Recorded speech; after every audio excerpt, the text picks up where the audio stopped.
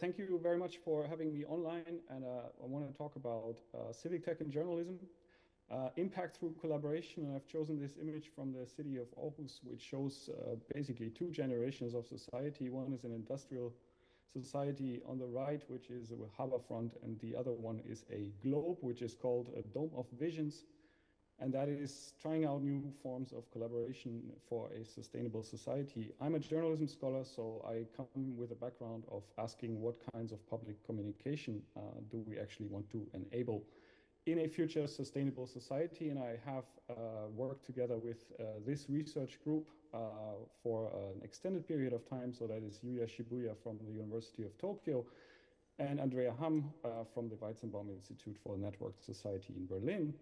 And we are a loose research group uh, interested in civic tech, and I will uh, spend a word on where we, how we ended up at looking at civic tech because we actually come from quite different backgrounds. Um, uh, Yuya is specialized in data science and citizen participation, whereas Andrea has worked uh, both in journalism studies, but is now focusing a lot on public sector sustainability and digitization and focusing on how to get citizens involved. And as I said, my background is in journalism studies, and I'm increasingly interested in civic communication practice. So what does the communication of a sustainable society actually look like? And for me, it's very unlikely that it, it will work with models of journalism that have worked for the industrial age. So that's how we ended up having an interest in civic tech uh, as a bridging technology, but also community form of organization. And we have actually uh, published a lot on that, uh, hosting a workshop last year, for example, on what does failure mean in civic tech? When is the project actually considered a failure or what kinds of learnings do we actually take from civic tech projects? And one thing that came out of this workshop is that actually the runtime of projects often puts an impediment to the successes, although there were multiple learnings, community engagement, outputs, etc. And that is what brings up the role of journalism for me are there new ways in which we can think about a journalism in which civic tech actually has a role? So that is what I would like to present with a few examples from my research group. Um, uh, and here are some ways in which we are thinking about this. Uh, one study that uh, Yuya did actually in Japan right after the Fukushima disaster was a study on SafeCast, so uh, a bottom-up initiative on measuring radiation when it was publicly not available. And we have here uh, an example of how these small sensors that they deployed uh, have contributed to a growing data set on radiation all over, the, all over Japan. Now, the dimension of this storyline, I would say, is that of course it's a great asset to have more and more data points about uh, from citizens. But I think the more important dimension is uh, something like volunteer storytelling. And I could see that also in some of the previous presentations, like the story of someone getting engaged with an issue. Because what engages me in this line of research is the data that speaks about issues and how it can be made useful for journalistic enterprises. So this kind of personalized storytelling of inserting yourself into addressing an issue is just as important for me as the data itself. In another example, uh, we looked at uh, bike counters uh, across different US cities, um, which is a measure to you know, see how many people are using bikes in public spaces. And these, measure, these measuring points actually draw a lot of communication from people on social media. So here we have tweets and Facebook posts. And uh, always when there is a new kind of post, people get engaged in a public discussion about the value of cycling in public space, of not using the car, etc. So there are stories about change, stories about sustainability out there that can be supported by storytelling formats and also journalistic formats. And out of these researches Andrea and uh, Yuya have done, they have developed kind of a growth model of civic tech initiatives, uh, how they develop over time and what makes them either succeed or transform into a different kind of uh, assembly with other alliances. And they have quite clearly mapped out in the case of the German uh, sensor community and a SafeCast community that there are like three distinct phases of emergence, growth, and sustaining. And of course, the sustaining phase is always the most difficult one not only because volunteer support drops out, but also because funding may evaporate or the issue may not simply be as important anymore. And I'm wondering, as a research, researcher in journalism, are there new roles for journalism in enabling this kind of sustaining debate? I would like to bring one example that I find very useful for this uh, question. So impact through journalism, beyond the data collection itself, beyond the community engagement, beyond the building of interfaces, uh, can actually profit from an involvement in with journalism. If you think about a project like this one, I think it has been widely cited, a project in Berlin that see, sought to measure the overtaking distance of cyclists by vehicle uh, uh, owners and that one had multiple dimensions because it equipped bikes, first of all, with a type of sensor. Then it also built maps of streets that were actually quite narrow for cyclists to navigate. And it pinpointed specific areas in the town where a lot of the measurements were actually quite dangerous for cyclists. So this type of data-driven journalism uh, bridges between civic tech, policy initiatives, and journalism itself. So it was facilitated by Tagesspiegel newspaper in Berlin. It was the motivation to create a data set for an often intangible, uh, not visible uh, threat to cyclists.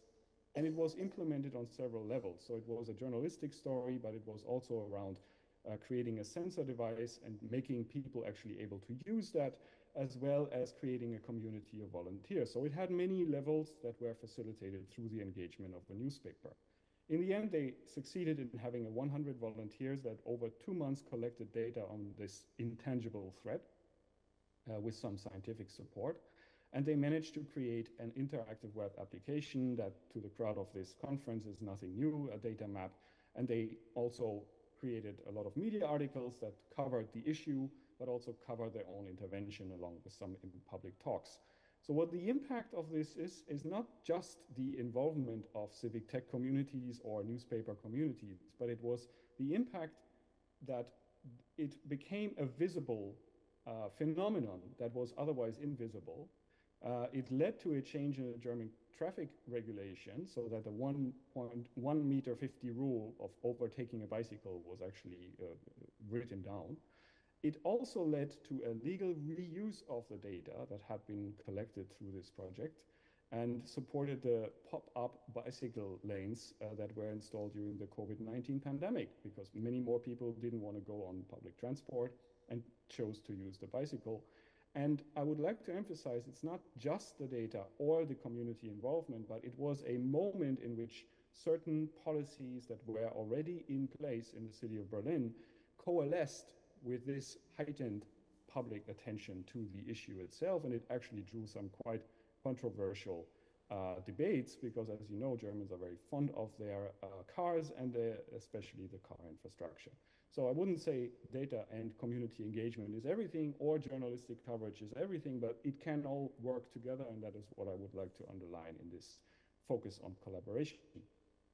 Uh, Andrea did a research on this uh, project actually, and she tried to find out that in such a data-driven journalism project, there are actually different phases uh, and new qualifications that journalists need. And I think that is the main impediment, main obstacle to making uh, journalists work a lot more with civic tech because they need to both be able to engage in data work, but they also need to be able to do project management, to get the right partners together, and what is even more critical is to kind of track the impact of their own reporting or their own work, which is typically not uh, on the top of the news agenda.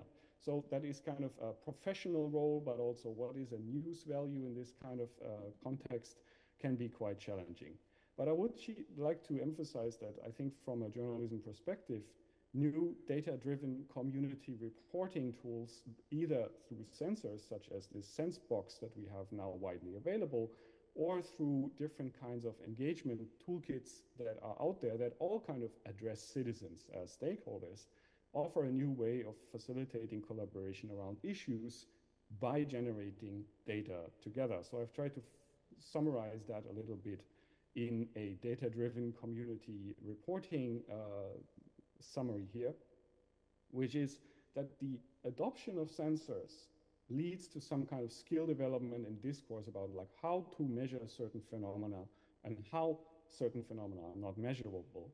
Uh, it leads, of course, to the creation of new public data assets that can be used by multiple stakeholders, citizens, public policymakers, but also planners and other activists. It also creates sustained attention for certain community issues, uh, not just in environmental monitoring. But in this case, as I uh, tried to explain, it also contributed to branding a journalistic medium with a particular engagement on an issue.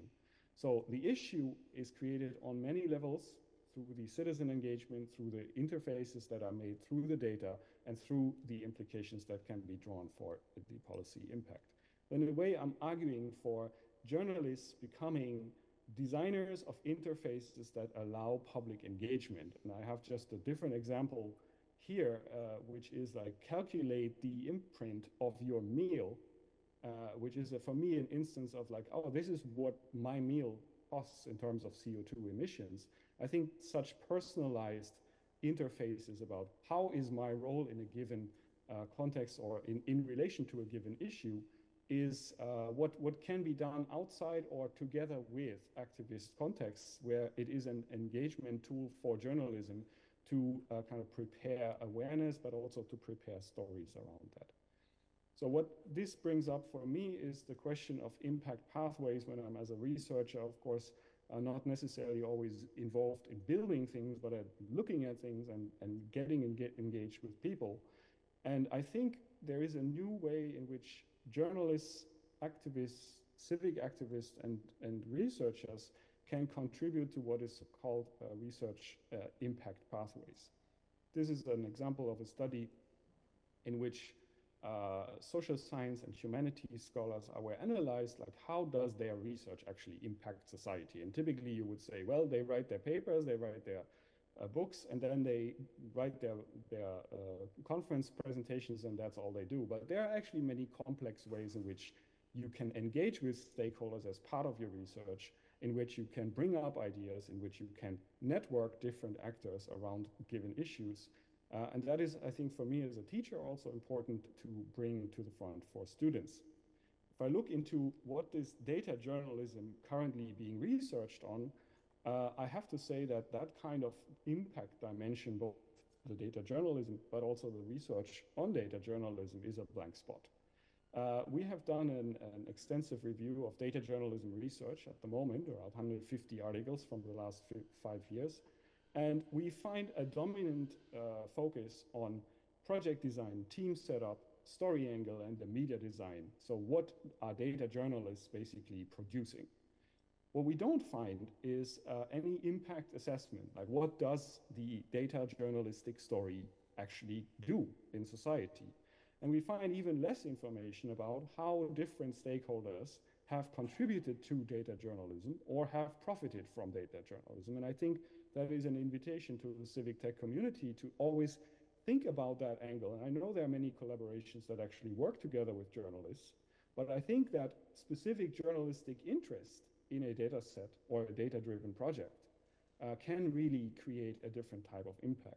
And I would also like to mention what does an audience do with a data or science journalistic project? That is even harder to research and unless you go into uh, social media mining and so on.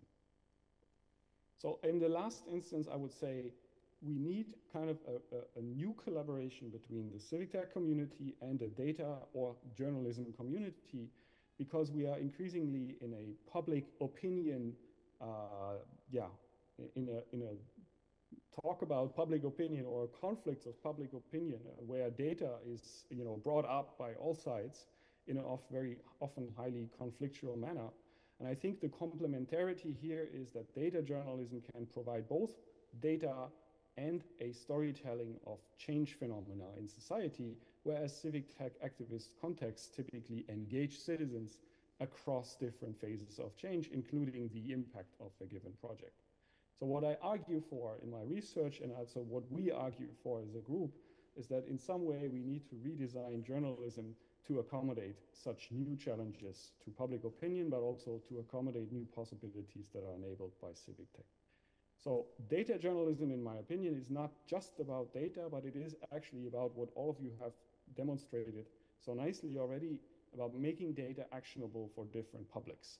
And that is a core competence, I would say, that lies a bit outside of civic tech proper or the building of specific issue platforms, but it is actually a view towards public interest uh, from a journalistic perspective. Then I think what data journalism can support is actually data exploration and collective insight. So that kind of personalization of experience and a way of storytelling in which sustainability transitions become understandable to the individual um, than how they affect them, whether it is about energy use or climate uh, effects or mobility or other sustainability factors. So what I think is the benefit of data journalism building interfaces for such collections is that you can enable a sustained engagement with issues over a longer time that escapes in a certain way the news cycle that is often informing journalistic reporting. To close my presentation, I would just briefly mention a project that I'm about to finish. Uh, it's called the InfraPublics project, which was a, like a pilot study in trying to bring in three, bring together three different fields of sustainability transitions. So that is on the one hand, the field of civic tech, uh, uh, the field of data journalism and smart cities as a spe specific uh, form of civic innovation, so in which new ways of uh, communicating about society are uh, exercised. And what we have created is simply a project base that I hope more people can contribute to on the overlapping interests uh, between smart cities, civic tech, and data journalism. we also have a section that is bringing people involved in these initiatives together and letting them speak about what is the specific role of infrastructure in uh, negotiating uh, social equity. And as a third dimension, I had thought about InfraPublic's lessons. So how to bring these real world examples into the classroom and educate future journalists about the possibilities of using both civic tech approaches, civic engagement, but also data driven collections to create this sustained engagement uh, over time.